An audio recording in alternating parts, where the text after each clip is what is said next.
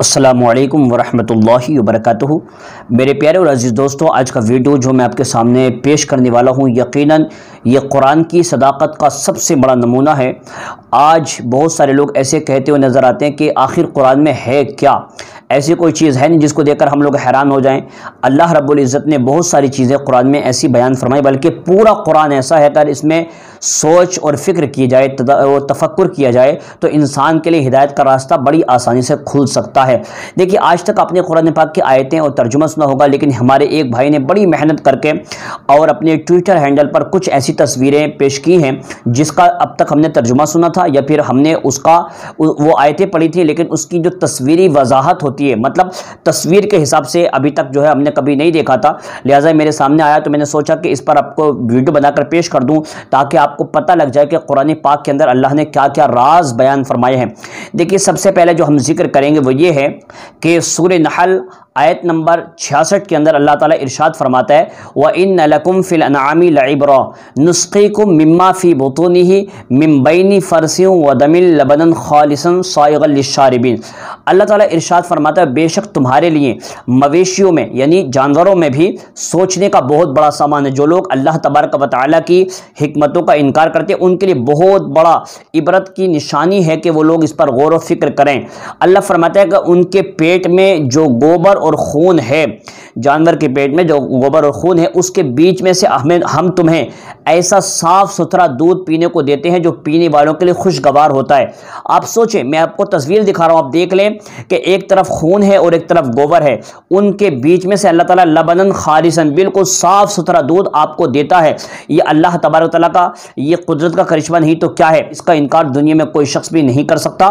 دوسری تصویر کی اگر ہم بات کریں، اللہ تعالیٰ ارشاد فرماتا ہے سورہ قاف آیت نمبر سولہ میں اللہ فرماتا ہے، وَنَحْنُ أَقْرَبُ إِلَيْهِ مِنْ حَبْلِ الْوَرِيدِ تصویر میں آپ دیکھ لیں، اللہ نے کہا یہاں پر کہ ہم تمہاری شہ رگ سے بھی زیادہ قریب ہیں۔ آپ دیکھ لیں، یہ شہ رگ وہ ہے کہ جس کو اگر کاٹ دیا جائے تو انسان کی زندگی بالکل ختم ہو جاتی ہے اور انسان زندہ نہیں رہ سکتا۔ اللہ فرماتا، ہم اس سے زیادہ قریب ہیں۔ یہاں پر آپ دیکھ لیں شہ رگ کا فوٹو بھی میں آپ کو دکھا رہا ہوں۔ اس کے علاوہ اگر ہم بات کریں تیسری آیت کے بارے میں، تو اس میں اللہ تبارک و تعالیٰ نے ارشاد فرمایا، یہ سورہ توبہ آیت نمبر 108 ہے۔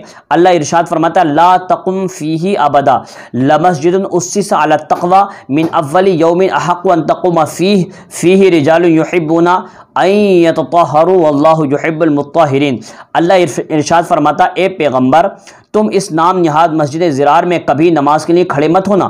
البتہ وہ مسجد جو مسجد قبا ہے، جس کی بنیاد پہلے دن سے ہی تقوی پر رکھی گئی ہے، وہ اس بات کی زیادہ حقدار ہے کہ تم اس میں کھڑے ہو۔ اس میں ایسے لوگ ہیں جو پاک صاف ہونے کو پسند کرتے ہیں۔ اللہ پاک صاف لوگوں کو پسند کرتا ہے۔ اب دیکھیے، آپ نے یہ آیت تو پڑھی ہوگی، اس میں تصویر دکھائی گئی ہے مسجد قبا بحمد تعالیٰ، اس مسجد میں مجھے بھی جانے کا شرف ملا ہے اور میں نے وہاں پر جا کر بہت ساری نمازیں وہاں پڑھی ہیں۔ تو لہٰذا یہ تصویری وضاحت ہے۔ آج تک آپ نے پڑھا ہے، لیکن آج اپنی آنکھوں سے دیکھ لیں کہ مسجد قبا کا ذکر بھی موجود ہے اور مسجد زرار کا بھی حکم ہے، جس کو اللہ رب العزت کے پیارے حبیب صلی اللہ علیہ وسلم نے گرانے کا حکم دیا اور اس کو جلانے کا حکم دیا اور بعد میں اس مسجد کو بالکل ختم کر دیا گیا۔ آئیے اگلی اگلی تصویر کی طرف چلتے ہیں۔ یہ دیکھیں سورہ رحمان اور آیت نمبر دس، گیارہ، بارہ۔ اللہ تعالیٰ ارشاد فرماتے ہیں وَالْأَرْضَ وَضَعَهَا لِلْأَنَامِ فِيهَا فَاكِهَةٌ وَالنَّخْلُ ذَاتُ الْأَكْمَامِ وَالْحَبُّ ذُو الْعَصْفِ وَالرَّيْحَانِ اس میں آپ تصویریں دیکھ لیں۔ تصویر میں سب کچھ صاف صاف نظر آ رہا۔ پہلا فاکہہ فاکہہ مطلب لذیذ پھل۔ اللہ رب العزت نے عطا فرمائے النخل ذات الاکمام۔ اللہ فرماتا غلاف میں لپٹے پھل والے کھجور کے درخت۔ اللہ تعالیٰ فرماتا ہے، اب اس کا ترجمہ سماعت فرما رہے اور زمین کو اسی اللہ نے ساری مخلوقات کے لیے بنایا ہے، اس میں لذیذ پھل اور کھجور کے درخت ہیں، جن کے پھل غلافوں میں لپٹے ہوئے ہیں۔ اور بھوسے والا غلہ اور خوشبودار پھول بھی۔ اب یہاں پر دیکھ لیں آپ دیکھیں جو یعنی غلہ ہمیں ملتا ہے، وہ کیسے بھوسے کے اندر لپٹا ہوا ہوتا ہے اور اس کے اندر سے ہمیں غلہ مل جاتا ہے۔ ایسے ہی اللہ رب العزت ہمیں خوشبودار پھول عطا فرماتا ہے اور غلافوں میں لپٹی ہوئی کھجوریں اللہ تعالیٰ ہمیں عطا فرماتا ہے، یہ اللہ تعالیٰ کی قدرت کا کرشمہ ہے۔ اگلی تصویر پر اگر نظر ڈالیں تو یہاں پر دیکھیے اللہ تعالیٰ ارشاد فرماتا ہے، یوم ندعو کل اناسم بی امامہم فمن اوتی کتابہ بیمینی فاولائک یقرؤون کتابہم ولا یظلمون فطیلا اس میں اللہ رب العزت نے ارشاد فرمایا سورہ اسرا آیت نمبر سیونٹی ون۔ اس دن کو یاد رکھو جب ہم انسانوں کو ان کے اعمال ناموں کے ساتھ بلائیں گے، پھر جنہیں ان کا اعمال نامہ داہنے ہاتھ میں دیا جائے گا تو اپنے اپنے اعمال نامے کو پڑھیں گے اور ان پر ریشہ برابر بھی ظلم نہیں ہوگا ریشہ۔ اب ریشہ آپ دیکھ رہے ہیں، ریشہ کیا ہوتا ہے؟ دیکھیے، فتیلہ کہتے ہیں، کھجور کی گٹھلی کی نالی میں موجود ایک باریک ریشہ ہوتا ہے۔ اللہ فرماتا ہے، اتنا بھی ظلم تمہارے اوپر نہیں ہوگا۔ جب اللہ تبارک و تعالیٰ تمہارے نام عمل تمہارے ہاتھوں میں دے گا، تو جن کے سیدھے ہاتھ میں دی جائیں گے، وہ اس کو پڑھیں گے۔ اللہ فرماتا ہے، اس دن بالکل بھی تمہارے پر ظلم نہیں ہوگا۔ اگلی تصویر دیکھ لیں۔ اس میں دیکھیے، اللہ تبارک و تعالیٰ ارشاد فرماتا ہے، سورہ توبہ آیت نمبر چالیس کے اندر اللہ تنسروح فقد نصر اللہ از اخرجہ الزین کفرو ثانیس نین از ہما فی الغار از یقول لصاحبہ لا تحزن ان اللہ معنا اللہ ارشاد فرماتا ہے، اگر تم ان نبی اکرم صلی اللہ علیہ وسلم کی مدد نہیں کرو گے تو ان کا کچھ نقصان نہیں، کیونکہ اللہ ان کی مدد اس وقت کر چکا ہے جب ان کو کافر لوگوں نے ایسے وقت مکے سے نکالا تھا جب وہ دو آدمیوں میں سے دوسرے تھے، جب وہ دونوں غار میں تھے، جب وہ اپنی ساتھی سے کہہ رہے تھے کہ غم نہ کرو، اللہ ہمارے ساتھ ہے۔ لا تحزن، ان اللہ معنا۔ یہ جب کی بات ہے، جب حضرت ابوکر صدیق رضی اللہ عنہ حضور صلی اللہ علیہ وسلم دونوں ایک ساتھ مکے سے نکلے تھے اور اس وقت آپ غار سور میں گئے تھے اور اس وقت کافر آپ کا پیچھا کر رہا تھا۔ جب ابوکر صدیق رضی اللہ عنہ نے کہا تھا، یا رسول اللہ، وہ ہمارے پیچھے آ رہے ہیں۔ اور جب آپ گھبرانے لگے تو آقا علیہ وسلم نے ارشاد فرمایا، لا تحزن، ان اللہ معنا۔ آ غم نہ کریں، کیونکہ بے شک اللہ ہمارے ساتھ ہے اس میں آپ تصویر میں دیکھ لیں، دو میں سے دوسرے یعنی حضور صلی اللہ علیہ وسلم اور غار سور یعنی وہ جگہ جہاں پر آپ جا کر کے اس میں چھپے تھے۔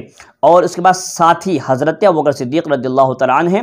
اگلی آیت دیکھ لیں۔ اگلی آیت میں ارشاد خدا بندی ہے سورہ یونس آیت نمبر 92 میں فلیوما ننجی کا ببدنی کا لتکون لمن خلفہ کا آیا لہٰذا آج ہم تیرے جسم یعنی فرعون کی لاش کو بحر قلزم سے نکال کر بچائیں گے، تاکہ تو اپنے بعد کے لوگوں کے لیے عبرت کا نشان بن جائے۔ یہ ایک ایسی آیت ہے جس کو دیکھ کر کے بہت سارے بڑے بڑے سائنٹسٹ لوگوں نے اسلام قبول کیا تھا۔ آپ، میں آپ کو بحر قلزم کی تصویریں بھی دکھا رہا ہوں اور ساتھ میں فرعون، اس کی لاش بھی آپ کو دکھا رہا ہوں۔ یہ ایک ایسی چیز ہے جس کا کوئی دنیا میں انکار نہیں کر سکتا۔ تو میرے بھائی، یہ قرآن پاک کی وہ آیت ہیں اور وہ تصویری وضاحت میں نے آپ کے سامنے پیش کی ہے جو آپ نے سنا ہوگا، لیکن اس طریقے سے ان کی وضاحت نہیں دیکھی ہوگی۔ گزارش ہے کہ اس ویڈیو کو آگے شیئر کر دیں تاکہ لوگوں کے جو نالج ہے اس میں اضافہ ہو جائے۔ میں نے آیت بایت آپ کو پورا بتایا ہے، آیت نمبر کے ساتھ بتایا ہے۔ اس ویڈیو کو آگے شیئر کرنا آپ لوگوں کی ذمہ داری ہوگی۔ السلام علیکم ورحمۃ اللہ وبرکاتہ۔